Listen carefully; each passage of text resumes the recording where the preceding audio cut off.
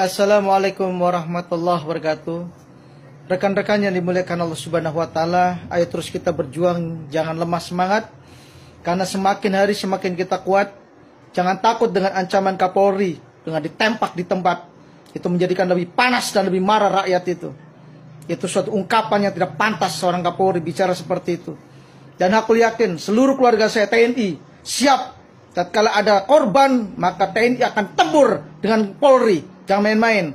Tidak semuanya mengikuti Panglima. Karena semuanya adalah kebenaran. Dan rakyat sudah marah. Dan insya Allah rakyat sudah siap untuk mati. Berjuang di jalan Allah subhanahu wa ta'ala.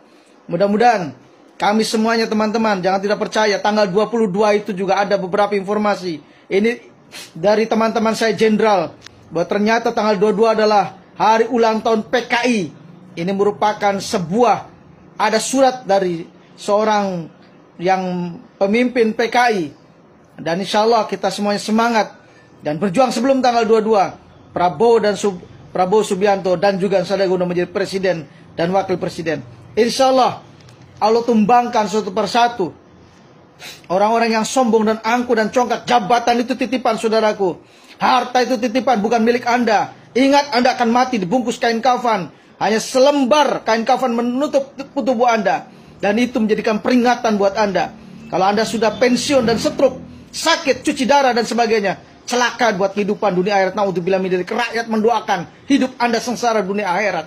Oleh karena itu saya mengharapkan kepada saudara-saudaraku seluruh Indonesia berjuta, ayo menangis, mengadu pada Allah minta keadilan. Insya Allah satu persatu yang sombong dan angku cok dengan jabatannya, dengan kekayaannya, tumbang kena setruk, tumbang sakit parah. Insya Allah Bismillah. Assalamualaikum warahmatullahi wabarakatuh.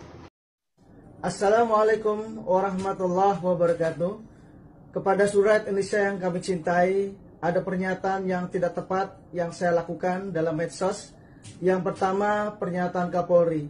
Dan saya mohon maaf kepada Kapolri apabila ada kata-kata saya yang kurang tepat memahami kaitan apa yang Bapak sampaikan tatkala upacara untuk pengamanan pemilu.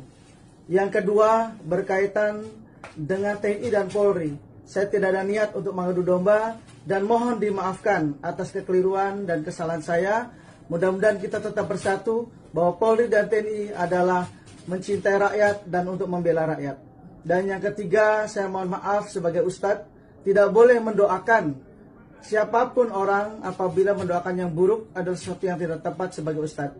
Dan saya terima kasih kepada seluruh teman-teman yang ada di Polres Tribun yang telah memberikan hal-hal yang positif untuk diri saya sehingga saya akan belajar lebih baik menjadi ustadz yang betul-betul memberikan ketentraman, kedamaian, kesejukan bagi masyarakat Indonesia sekitarnya.